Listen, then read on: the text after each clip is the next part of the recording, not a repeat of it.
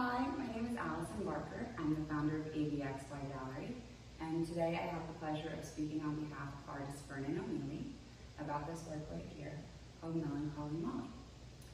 This piece comes out of a collection of work we showed this summer at the gallery. The show was called Flowers for Minnie, and it was made up of dozens of still life paintings, so lots of paintings of flowers, uh, composed entirely in black and white.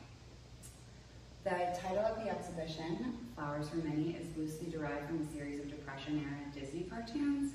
Um, with the advent of sound in the early 1930s, Disney put together a series of cartoons called the Silly Symphonies.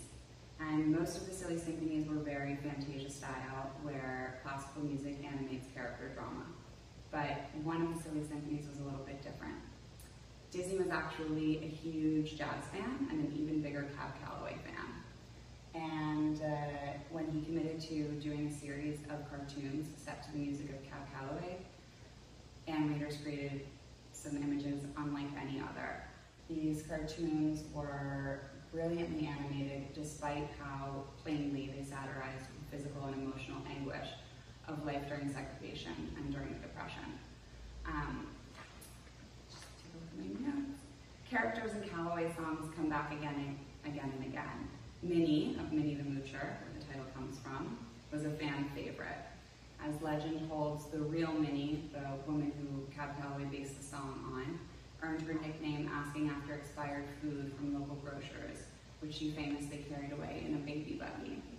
And as they say in the press release, uh, O'Meally's flowers are for Minnie as much as they are for all of us trying to make the best out of a bad situation on an increasingly perilous and polarized planet but we still see the world in black and white. On or off, fact or fiction, open or closed, us or them. Leaving no room for growth, the blame game drains the color of compassion from the flowers of our humanity and leaves us feeling more detached from each other and reality than ever. So I feel like that really comes through in Molly. She's one of my favorite pieces in the show. One of the features of Disney's Calloway cartoons was the use of biomorphism. So inanimate objects taking on human characteristics. For example, at one point in Minnie the Moocher, Betty the Boop is sitting at a breakfast table, refusing to eat her breakfast, and the vase of flowers on the table comes to life and tries to spoon feed her uh, her meal. Um, and we see here in this piece, you know, this slumped over vase and the slumping flower.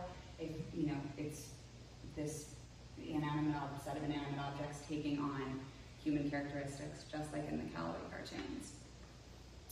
In art history, still lifes have always uh, provided a metaphor for humanity, particularly in terms of mortality. We thought Molly would be perfect for Sourdough because she exemplifies the type of loneliness so many of us feel or are feeling, felt during isolation and quarantine.